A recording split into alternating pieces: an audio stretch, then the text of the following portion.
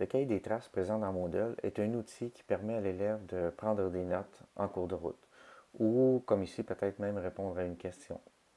Donc l'élève peut inscrire des notes, enregistrer sa réponse et parfois il peut y avoir une rétroaction de l'enseignant qui a déjà été euh, préparé à l'avance pour lui donner un indice ou pour l'aider.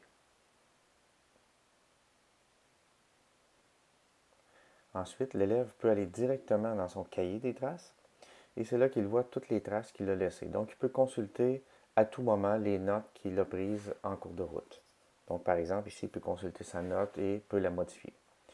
Du côté de l'enseignant, l'enseignant reçoit une notification lorsque l'élève a pris des notes dans son cahier des traces.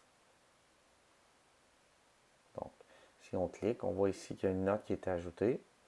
Si on clique sur la note, l'enseignant peut voir la note de l'élève et peut aussi ajouter une rétroaction.